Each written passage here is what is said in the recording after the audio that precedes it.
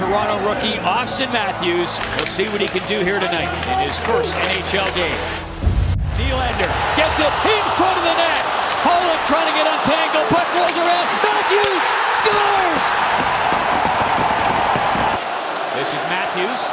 Gains control. Trying to find some room. Oh, great work. He gets free. Shoots, scores! What a goal! Matthews, magnificent! What league you're coaching in? That's been his experience. Puck out in front. Matthews scores! A hat trick! Oh my goodness! What a debut! Two. Leafs back quickly. Nylander moving in. Works it across in front. He scores! Matthews! You are looking at the first player ever to score four goals in an NHL debut.